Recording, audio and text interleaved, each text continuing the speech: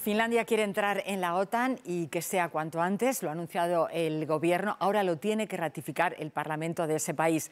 Su entrada significaría multiplicar por dos la frontera entre los aliados y Rusia. A los 1.200 kilómetros actuales se sumarían los más de 1.300 que Finlandia comparte con ese país. Sería la frontera más extensa entre la OTAN y Rusia y supondría además acabar con la neutralidad histórica de, Finlandia, de Helsinki. Por eso Moscú cree que esta petición, solo la petición, ya es una clara amenaza para su seguridad y advierte de que habrá una respuesta. Estamos en directo en Ucrania, donde el presidente Zelensky ha apoyado esa decisión de Finlandia y también en Bruselas, la sede de la OTAN. Marta, volvemos contigo. El proceso de adhesión puede durar varios meses, pero la alianza ya busca la forma de dar protección a Finlandia.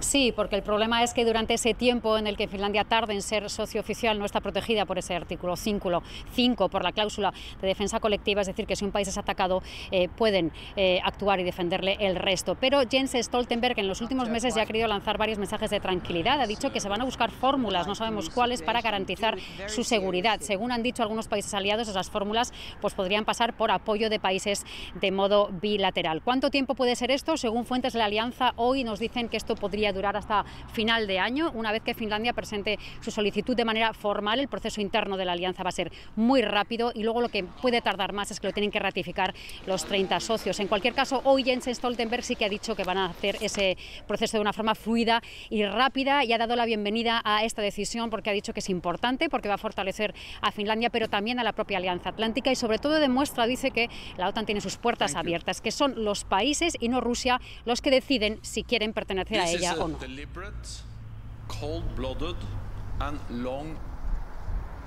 La decisión de Finlandia es sin duda una amenaza para Rusia y no hace a Europa ni más estable ni más segura. Esa ha sido la respuesta contundente del Kremlin. Su portavoz además ha añadido de que en caso de que finalmente Finlandia ingrese en la OTAN tendrán que analizar la situación y actuar en consecuencia para garantizar la seguridad de Rusia. Por su parte, el presidente Zelensky ha elogiado esta decisión y dice que supondrá un fortalecimiento de la política de defensa y seguridad de la alianza. Recordemos que aunque no ha participado directamente en el conflicto, desde el principio la OTAN ha apoyado económica y militarmente a Ucrania.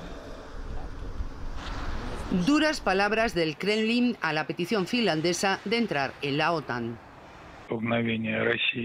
El portavoz Dmitry Peskov dice que sin duda será una amenaza que no hará Europa ni más segura ni más estable.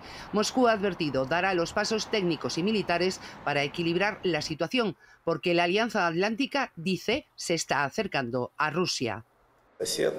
Mientras que el expresidente Dmitry Medvedev ha vuelto a agitar la amenaza de guerra nuclear y la probabilidad de un conflicto directo entre la OTAN y Rusia. Moscú también ha cargado las cintas directamente contra Finlandia. Habla de cambio radical en su política exterior, sumándose a lo que considera pasos inamistosos de la Unión Europea. El ministro finlandés de Exteriores ha dicho hoy en el Parlamento Europeo que la incorporación de Finlandia aportaría más seguridad y estabilidad en la zona del Báltico.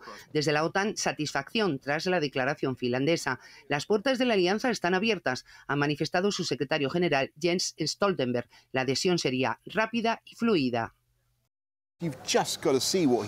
Para Boris Johnson, lo que está haciendo Putin en Ucrania ha movido a países tradicionalmente neutrales a cambiar de idea.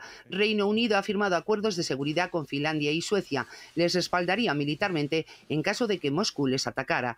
Desde el Pentágono se habla de decisión histórica. El Parlamento de Finlandia tiene que aprobar la solicitud de ingreso en la OTAN que rompería ocho décadas de no alineamiento, algo impensable hace meses y que ahora apoya un 75% de la población.